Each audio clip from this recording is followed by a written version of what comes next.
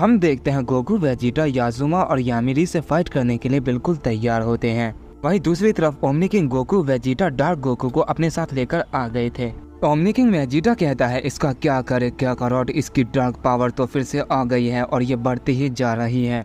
दी ने तो इसकी सारी पावर सोख ली थी, फिर इसके पास पावर कैसे बची? क्या वो हमें दिखाने के लिए था? ओमनी किंग गोकू भी कहता, मुझे समझ नहीं आ रहा वेजिटा आखिर ये चल क्या रहा है? मुझे नहीं लगता दी ने इसकी पावर सोखी है। अगर सोखता तो इसके पास ये पावर दोबारा कभी नहीं आती। ज़रूर कुछ गड़बड़ है, हमें पता लगाना होगा आखिर ये सब क्या हो रहा है। लेकिन गोकू, ये कह ही रहा होता है कि डार्क गोकू अपने होश आवाज़ में आ जाता है और वो गुस्से में कहता है, ये मैं कहाँ पर आ गया? तुम सब यहाँ पर क्यों आए हो? वो कहाँ गया? मैं उसे ज़िंदा नहीं छोड़ूँगा।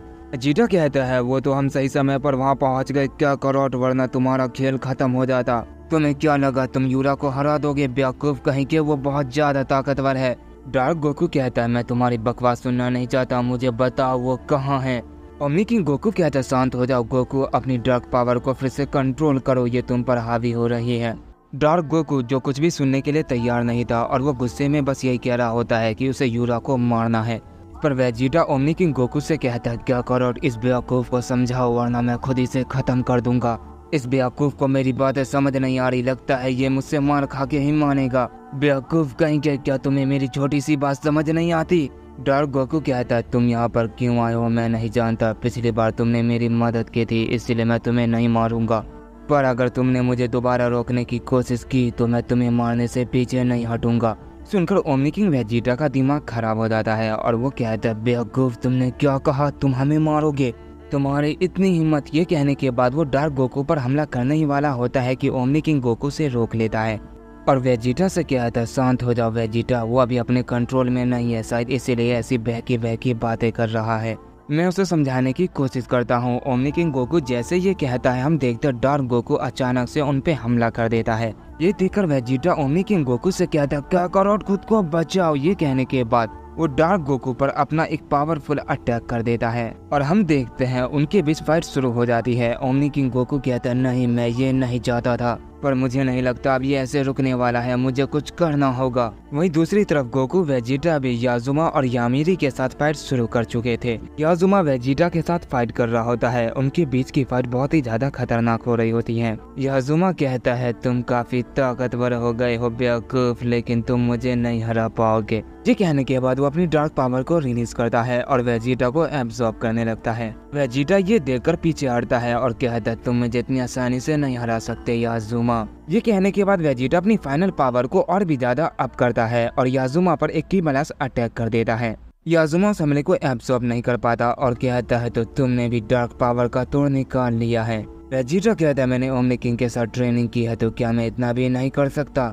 मैंने भी सोल ब्रेकर पावर को मास्टर कर लिया है और अब तुम मरने के लिए तैयार हो जाओ। याजुमा ये सुनकर मुस्कुराता है और कहता है, पहले इसका सामना तो करो। ये कहने के बाद याजुमा अपना स्पेशल अटैक कर देता है।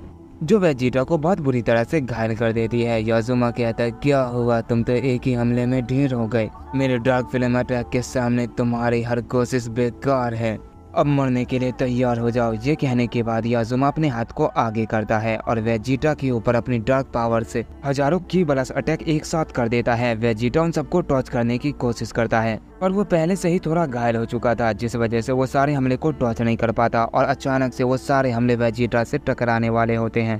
पर तभी गोकू बीच में आकर उन सब हमलों को एक ही बार में खत्म कर देता है और वेजिटा को बचा लेता है।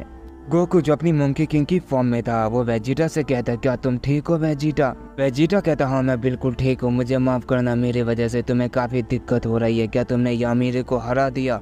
गोकू कहता हाँ मैंने उसे हरा ही दिया है, पता नहीं वो कहाँ गायब हो गई है। लगता है वो डर के भाग गई है याजुमा इस पर हंसता है और कहता है, क्या कहा मेरी बहन तुमसे डर गई? जरा देखो तुम कहाँ खड़े हो। गोकू कहता है, ये मेरी बनाई हुई छलावे की दुनिया है, यहाँ तुम कुछ भी नहीं कर सकते, पर वो जैसे अपने आसपास देखता है, वो काफ़ी चौक जाता है। आखिर ये क्या हुआ? मेरी बनाई छलावे की दुनिया अचानक से अलग कैसे हो गई? जीटा ये देखकर कहता नहीं ऐसा नहीं हो सकता, बहुत देर हो चुकी है, उसने अपना इल्यूजन बना लिया। गोकू कहता ये नामुमकिन है, उसने मेरी छलावे की दुनिया के अंदर ऐसा कैसे किया? अजुमा कहता है, ये मेरी बहन के लिए बाएँ हाथ का खेल है, अब तुम सब मरने के लिए तैयार हो जाओ।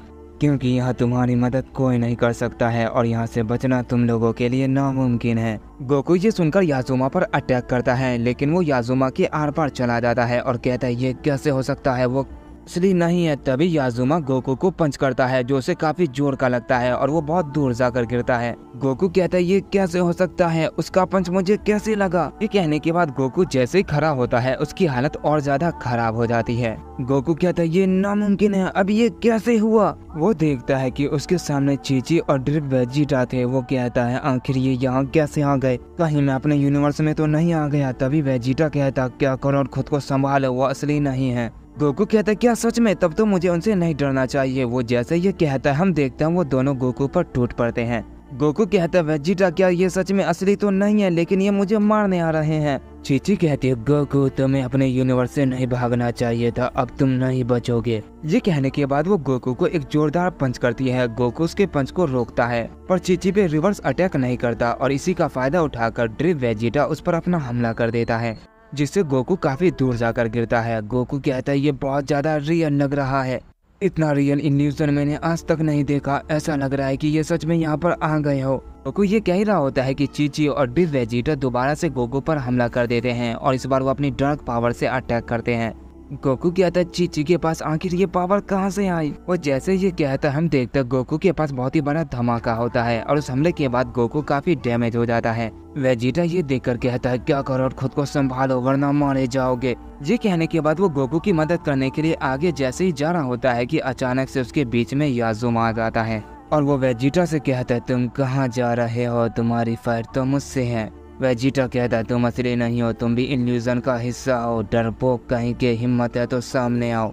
याजुमा कहता है, तुम काफ़ी चलाक हो, पहले मुझे तो हराओ, तब असली वाले का सामना करना। ये कहने के बाद याजुमा वेजिटा पर अटैक करता है, लेकिन वेजिटा उसके हमले को टॉच कर देता है और याजुमा पर अपना पंच करता है। वेजिटा का पंच याजुमा के बॉडी के आर पार हो जाता है। याजुमा कहता है, क्या हुआ? तुम मुझे छू नहीं पा रहे। ये कहने के बाद वो वेजिटा के हाथ को अपने शरीर के अंदर जमा लेता है, यानी वेजिटा के हाथ को जकड़ देता है। वेजिटा कहता है, ये क्या बकवास है? याजुमा कहता अब तुम हिल नहीं पाओगे। और ये कहने के बाद वो वेजिटा पर एक जोरदार पंच करता है और तभी वेजिटा अपनी सोल ब्रेकर पावर को रिलीज़ करता है और याजुमा के अंदर से अपने हाथ को छुड़ा लेता है। याजुमा एक पल के लिए शौक में रह जाता है। वेजिटा कहता है, क्या हुआ? तुम मुझे कमज़ोर समझ रहे थे ना? चलो, अब इसका सामना करो। ये कहने के बाद वेजिटा अपनी सूर ब्रेकर पावर से याजुमा पर अपना फाइनल फ्लैश अटैक कर देता है, जिससे वो डार्क पावर वहीं पर खत्म हो जाती है। वेजिटा कहता है, इसे हराना काफ़ी आसान था। मुझे अब क्या करोड़ की मदद करनी चाहिए? ये कहने के बाद वो गोकू के पास जा ही रहा होता है की अचानक से अब वेजिटा के सामने दो याजुमा आ जाते हैं।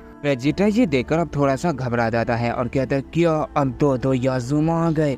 वही गोकू, चीची और वेजिटा से काफ़ी पिट रहा होता है, क्योंकि वो उन पर अटैक नहीं कर रहा था। गोकू कहता, मैं इन पर हमला नहीं कर सकता, भले ये असली नहीं है, लेकिन मैं ये नहीं कर पा रहा हूँ। फिर वेजिटा कहता, क्या करो, और तुमने हमें बहुत परेशान किया है, तुम हमेशा भाग जाते थे।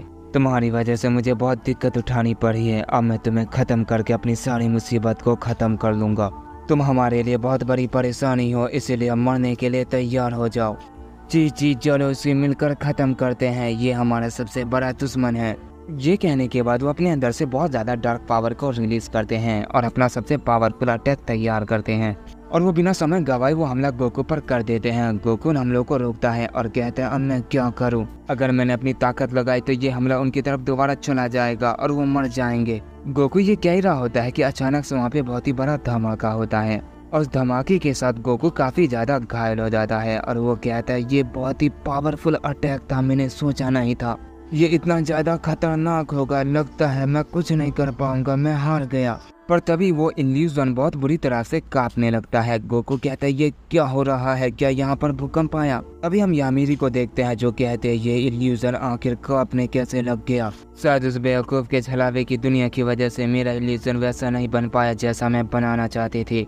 याजुमा कहता है लेकिन या यामिरी वो हार रहे हैं, फिर ये आखिर कौन कर रहा है? ये काप कैसे रहा है? यामिरी कहती है मुझे ये नहीं पता। कहीं इसके बारे में किसी को पता तो नहीं चल गया। वो इसे बचाने तो यहाँ पर नहीं आ गए। अगर ऐसा है तो चलो, उन्हें जल्दी से ख़त्म कर देते हैं। ये कहने के बाद वो जा ही रहे होते हैं कि अचानक से वो इल्यूजन गायब हो जाता है और गोकू ने जो छलावे की दुनिया बनाई थी, वो भी अचानक से तबाह हो जाती है और उन सबको काफ़ी ज़्यादा चोट आती है। यामिरी कहती है, आखिर ये किस बेवकूफ़ ने किया? मैं उसे नहीं छोड़ूँगी। तभी उसकी नज़र एक शख्स पे पड़ती है और वो और कोई नहीं ब्रोली था और वो होश में आ चुका था और वो पूरी तरह से पागल होता है। वो बहुत ज़ोर से चिल्ला रहा होता है। वो चिल्लाते हुए कह रहा होता है, तुम कहाँ छुपे हो? मैं तुम्हें नहीं छोड़ूँगा। क्या करो